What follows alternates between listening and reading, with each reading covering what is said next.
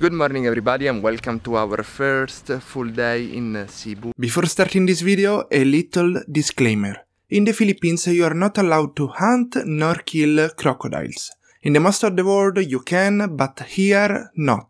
So if you encounter them, please run, because if they are so mean to their own species, imagine what they can do to you. But for real, guys, Last year a person died every other day because of crocodiles attack. Be safe. Today we're going to the Taoist temple. Fa caldo.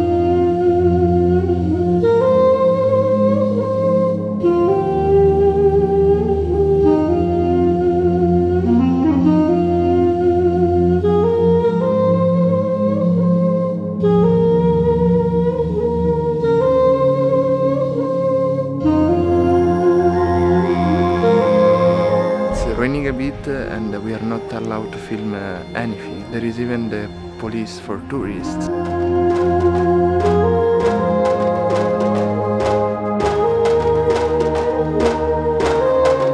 So guys, we are not allowed to do anything in this temple. No pictures, no photos, no videos. There are just these little dragons.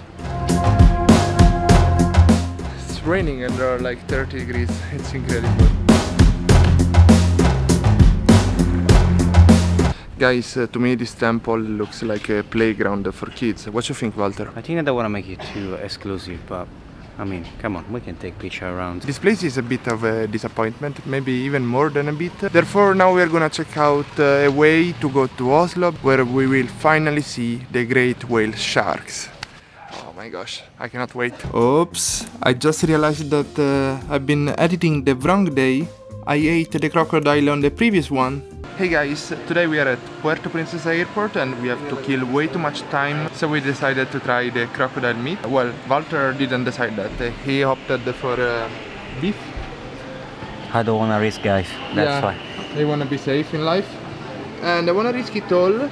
They told us uh, it tastes like uh, chicken, someone told that it tastes like pork but should be good.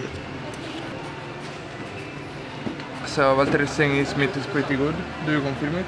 Yeah, I can say. So it's time to try the crocodile.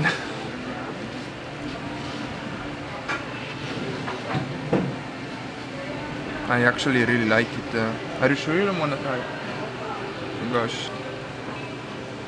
Approved. Troppo buono, lo assicuro. Is he gonna be safe?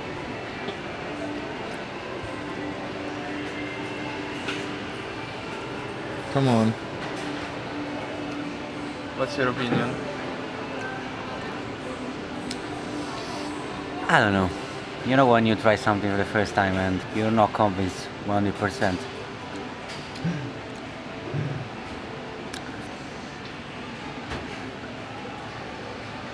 Eatable.